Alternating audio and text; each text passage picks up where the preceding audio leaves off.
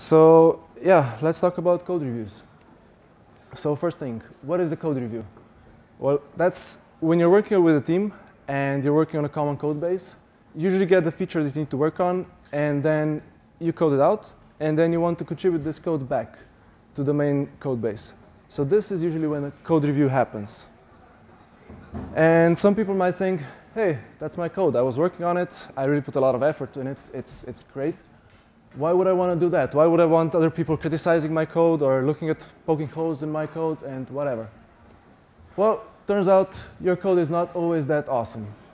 So sometimes you might be tired, you might be a junior developer, you might have uh, just a weird idea to solve, a weird way of solving things or whatever. It, it usually helps if someone else checks the code as well. So how will this benefit my team, you might ask? There's a bunch of benefits. So one thing, the first thing is uh, it creates a culture of openness. So people are not just hiding stuff and contributing it to the, to the repository. They're, they're showing their, the, the work they did to others. Uh, others are commenting, they're teaching them stuff. So cons consequently, this inc increases the code quality, which is a very important thing if you want to have your project for longer than just like uh, a month. Second, uh, the third part is that it catches a lot of bugs. So these are huge cost savings that I'm not going to go too much into details here, but it's, it's pretty valuable. Another one is team growth. So you have senior people that can look at the junior people's code. You, have, you can have junior people that look at senior people's code. So the whole, team's, the whole team just levels up. Another one, I think you're all familiar with the bus factor. So if someone gets hit by a bus, will the project still exist? So if you have more, more people reviewing each other's code, the bus factor is higher. So more people need to get hit by more buses for the project to fail. Um, it also increases the code ownership. So if you code something out and push it, it's, it's your code. But if you, if you code something out, push it, and someone else approves it and says, yeah, I really took a deep look into your code and I agree with it, then it's also a, bit, a little bit of their, their own code. So it increases the ownership. So do the cool kids use code review? So all the major companies? Yes, they, everybody, every self-respecting company usually does code reviews, some in a different way than the other, but that's a very standard practice. So why is this an art? Because humans. Um, since you have humans, then you have complexity, then you have weird behavior, and that's why it's a little bit of an art. So how to actually do a code review in practice? You have the main branch, so that's where usually when the main, the main functionality is. Then you take, one you take another branch and create a feature on it, and then at some point you want to contribute this back. And this is where the pull request actually, when the code review actually happens. It's called a pull request, and that's where people review the code usually. So that's the first step, how to open a good pull request. So this is an example of a not very good pull request. So the title is not very descriptive. It's just like, hey, bunch of features, bunch of fixes, yada yada. And as you can see on the right there, it has a, quite a lot of changes. So I don't want to be the person who's reviewing this. Um, Another thing is also there's, it also says it, no description provided. So good luck with finding out what this, this is actually supposed, supposed to do. Also on the right side, there's no one actually assigned to it. Nothing is there. It just, it just sits there. This one's already merged, but this was an actual pull request at some point. Thankfully, a long time ago. Um, so how does a good pull request look like? First thing, that it's a very important thing, is uh, it gives context. It gives context to anyone who's looking at the pull request. So by having a nice title with, which provides a good summary of the things that are being done, uh, description tries to offer even more details. If there's anything that you can attach, like screenshots, videos, or whatever that might help the reviewer, you should add that to the description. And if, you have a, if you're working from an issue tracker, then of course you should include the link to the, issue, to the actual issue itself. It usually contains some specs or something that's useful. So next thing that needs to happen is it needs to be reasonably small. So recommendation is that you don't exceed 200 lines of code. uh, in uh, one pull request. That's not always achievable, but that's a goal to strive for. It makes it much easier to review. So it usually it, us it should have tests. That's pretty important and pretty self-explanatory. Uh, commit messages should be informative. That's a thing I'm going to explain later. It should be focused on one thing. So let's say a general feature or just not like this feature and that feature and million of other changes. And someone should be assigned to it. So someone, so that goes along with the next line. Everybody involved should know exactly what's the next step on this PR. So if someone is assigned to it, then the assignee knows, OK, I should take a look at it. So this is an example of a slightly better pull request. The title has on the left side, so the start of the title is a link to our issue tracking system. So if you if you follow that link, then you see the actual the actual problem we were, we were working on. Um, then it offers a little more information. It has a bunch of uh, big description, so it, it says what it's trying to do. It also adds some more uh, info, which is uh, video. So a person can actually see what what's this supposed to look like at the end. Um, also offers some, uh, some help if people want to test it out. And as you can see on the right side, it's reasonably small. So 100 lines of code, that should be easy peasy to, to review. It also has people assigned and also has the milestone. So people know where this is going, and people know who's next to do anything on this one. Uh, if we look at the commit structure in a good pull request, that's also pretty important because you'll be finding these commits when you'll be digging through the code two years later. And if you structure it in something similar to this, it should be pretty useful to you. So a thing that every commit message so should stri strive to do is follow this, uh, continue this sentence. If merged, this commit will, dot, dot, dot. So if we take the second commit, if merge, this commit will add Selenium tests for LHN state. OK, that's, that's what's happening. Another thing, a good commit should do one thing. So a good rule of thumb here is if you have a commit message and you want to add the word end inside the commit message, it's probably doing too much stuff. So for example, add Selenium tests for LHN state and pull in Babel polyfill, blah, blah, blah. That's, that could be split up into two. Uh, third thing that is uh, nice to have is you can add additional explanation after the line break after, uh, in the commit message. So I've expanded the bottom one, and it says refactor navigation bar model into base. OK, that's the commit message. And then it offers some more explanation. Why? To make it consistent with SideNav. So this is super helpful when you find this two years later and you don't know what was happening. Uh, so then we get to, this, to step two, the actual code review. It's mostly comprised, it mostly comprises of two parts. So you check the functionality and you check the code. I'm going to start with checking the functionality. So you need to make sure that you have a clean state in your system. That is a very important thing because you might be chasing a bug or you might be you might look, be looking at this pull request and you say this feature doesn't work, it's broken. But it turns out after like three hours of debugging that you actually had something, some file stuck in your system that changed, changed everything and uh, you just wasted three hours. Second very important thing that people, people sometimes miss is you should read all you can about the problem so you understand it, so you understand what it's trying to do. That sounds very simple, but doesn't happen. I mean, it's, it happens that people forget.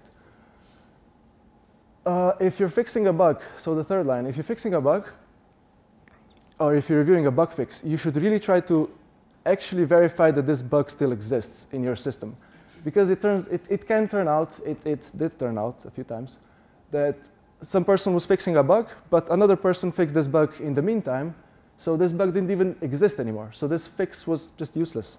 So first thing you should do is try to actually reproduce the bug, see, OK, this exists, and then apply the fix. Verify that the problem is actually fixed. If you're looking at the feature, check the specification, check that everything is working as it should. And then after all of this is done, you can try to break it. So you act a little bit as a QA. Um, you should read, you might want to read a book on QA or ask a QA person to, to teach you stuff like, hey, how do I break more things? But as a developer, you should have better knowledge of uh, what can you still break or what's, what might be the edge cases here. Second part is checking the actual code. So a prerequisite for this is that your company actually has some code conventions so that people know how the code, how, good code should look like. And if you don't have those conventions, there's companies like Google and Airbnb who, uh, who open source their conventions and you can just use theirs. It's a very good start. Then you need to check a bunch of things like is it readable, do you understand it? Because if you don't understand it, you can ask for clarification. If, if even after the clarification you don't understand it, then there might be a problem with the code. Or it maybe it's too smart, maybe it uses too much magic, it's, it's a red flag. Is it fast enough? That's just one thing. I mean, emphasis on the word enough.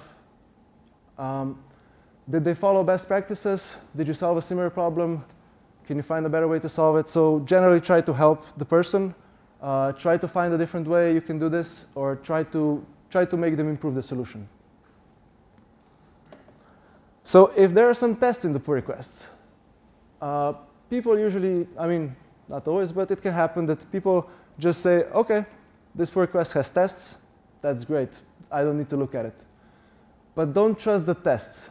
It's, it happened a few times that the test didn't actually work. So what we did is we tried to remove, if it's a bug fix, we tried to remove the actual fix and rerun the tests. And all the tests actually passed. So the bug fix didn't, uh, the test didn't do anything. And the last thing that's important here is you need to be cognizant of how fast your tests actually are.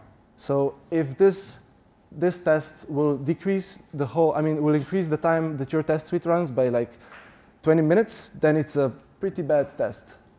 You want, you want, I won't go into too much details here, but you want to have fast tests to have very fast, fast feedback loops. So in general, when reviewing, you should definitely take it easy. Take your time.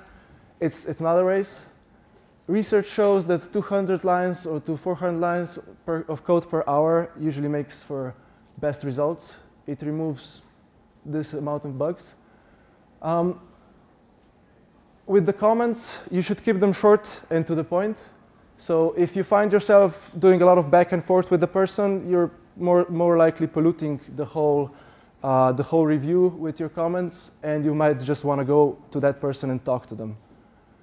Uh, it's also okay if you don't find anything. So it's not necessary that you always find something that's broken or that can, should be improved. But the most important thing here is you should be friendly and helpful when giving feedback. So you're working with people, and it's very important to not hurt their feelings, not to uh, make, the make a bad atmosphere in your team.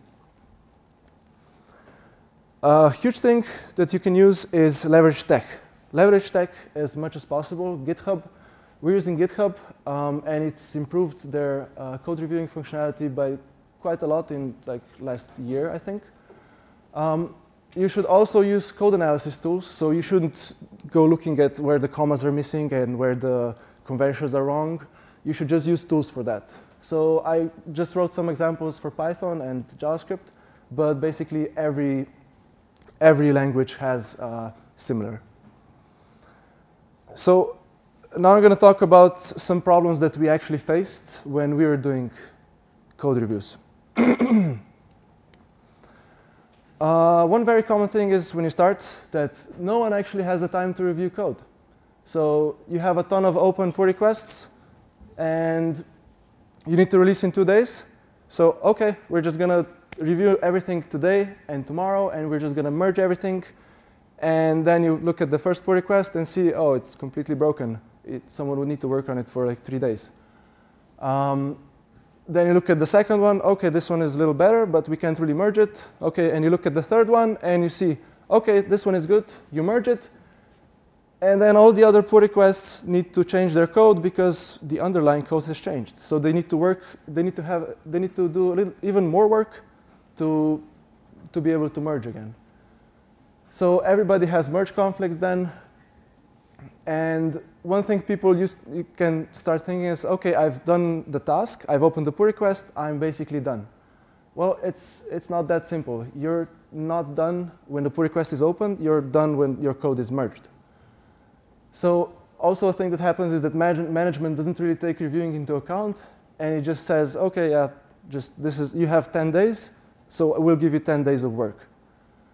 Um, our solutions, so we did a lot of talking in the team, and a lot of uh, back and forth and iterations. And basically, one thing we needed to do was talk to the management, said, okay, look, we need around 30% of our time for code reviewing. So you can just assign like seven days out of 10 of actual work.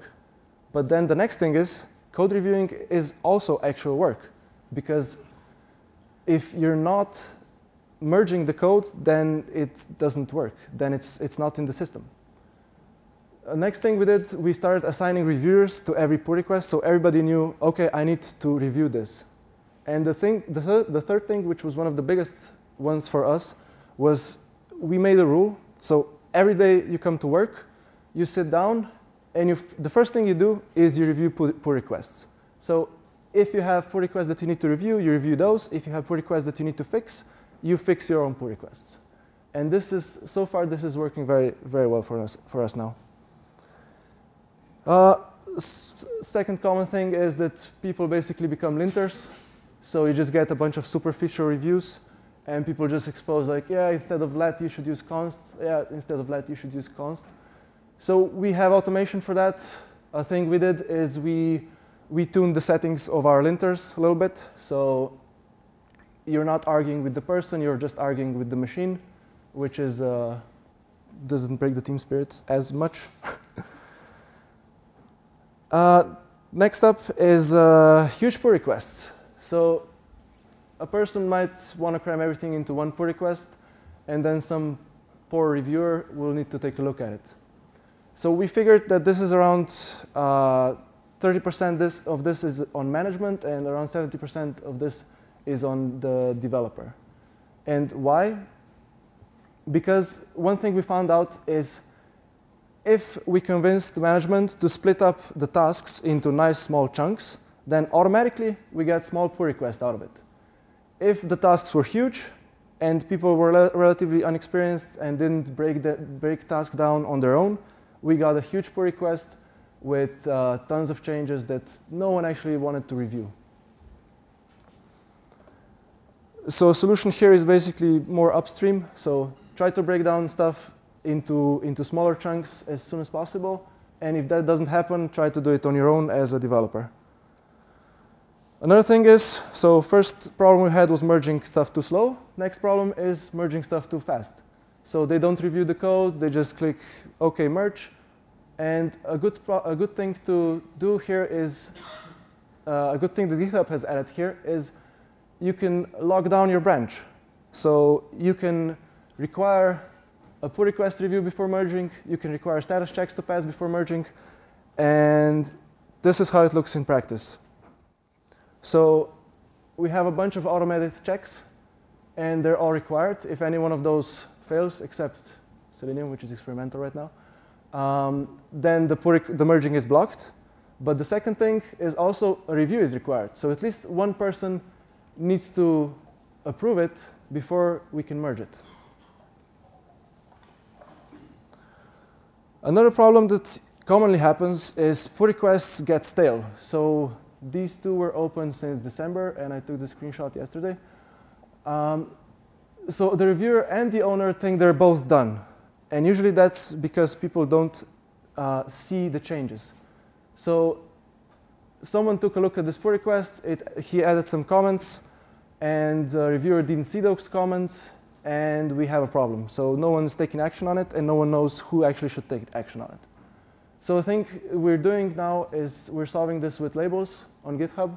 So if there's no label on it, then this means the reviewer should just review the pull request and probably merge it. if there are labels on it, like add test, it's up, it's up to the owner to fix the pull request. If uh, this review is super important, then you need to kick the reviewer to start working.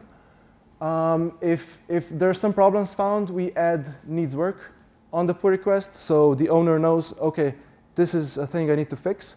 And all the other reviewers see, okay, the owner is probably working on it, and I'm not going to review it right now. I'm not going to lose my time if it's going to change anyway. So others are also the ones, ones that we use. So on hold, question, wrong branch. Uh, those should be pretty self-explanatory. Another thing that can happen is that people don't accept feedback. So they take it personally, they get defensive, they say, oh, light was shining in my eyes, I couldn't code properly or whatever. Um, they think it's useless, it's a useless process or whatever. I don't really have a very good solution for this, but I think the best one here is just to talk as a team, uh, try to convince the people, I mean, try to show the value of this process, try to convince people why you're doing this. Maybe you can, you can have the people that are strongly against it to be the first reviewers or to just like review other people's code so their feelings don't get hurt, but like other people's feelings get hurt. Um, and uh, yeah, so basically here, this, the path to solving this problem is just a lot of communication and back and forth and iteration. So you usually don't, you, you, you're usually not able to solve those problems immediately, but in a few steps or in a few iterations, you usually want to look back like, hey, hey, was this a good solution? Was this a bad solution? And iterate on it. So I could go on, but there's not much time left. Um, so yeah, to, to summarize or to one last thing is uh, when should I use code reviews? I would say whenever you have time or whenever you can, because when you, when you start doing pull request reviews or code reviews, you'll get so much out of it that you'll improve your code, you'll improve yourself, you'll improve, improve your whole team.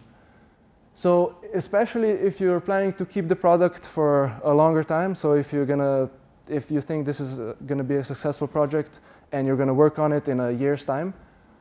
Um, but if you're alone and there's no one else that you could rely on, you could try to bribe a friend to look at your code for at least once a week or something and give you some feedback. And uh, that's all. Uh, so yeah, we're doing code reviews at Reciprocity, and we're hiring, so thank you. Yes? Um, how do we handle urgent bug fixes with protected branches? Because we, we started to use them, but we, we um, stopped after first Friday night uh, emergency. Um, it, try to fix the bugs within merge. It gets a little complicated because depends on what kind of a product you have. So if you have a consumer product that people are using on Sundays and Saturdays, then you have a slightly bigger problem. You usually need two people available at that time. And we have a, kind of product that's used mostly in companies. So we don't have those Friday night fixes as often, or at least they can wait until Monday.